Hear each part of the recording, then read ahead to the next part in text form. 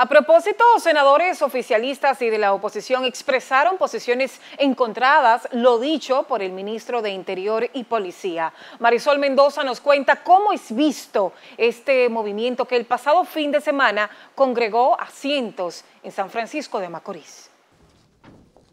Para el senador oficialista y vicepresidente del Senado, Dionis Sánchez, las movilizaciones verdes tienen como único objetivo desestabilizar el gobierno de Danilo Medina.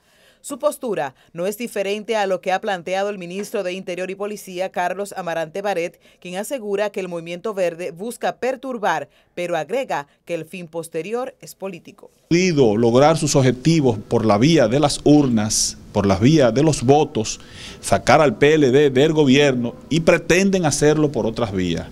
Y la democracia impera que la única forma para cesar al poder es por las vías de las elecciones. en el 2020 habrá elecciones que se organicen como partido y nos veremos en las urnas. Mientras que el senador Amable Aristicastro dijo que no cree que estas manifestaciones tengan este propósito, asegura que eso es cosa del pasado. Desconozco las informaciones que tiene el señor ministro. Creo que esos tiempos ya están superados hace muchos años. Por lo tanto, no me identifico con, con esas informaciones que tiene el señor ministro de Interior mi envío personal. Pero esos tiempos ya superaron hace muchos años.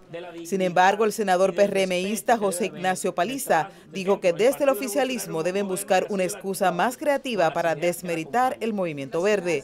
Un movimiento de gente decente, de familias completas, de ciudadanos de buen nombre que se han unido eh, y que han costeado cada uno su, su propia participación y que recorre toda la geografía nacional haciendo un esfuerzo de llamar la atención porque la política requiere, y en este propio caso, de un quiebre, de ese balance cómodo en el cual la impunidad ha durado años viviendo y ha mantenido el establecimiento de políticas y de formas incorrectas.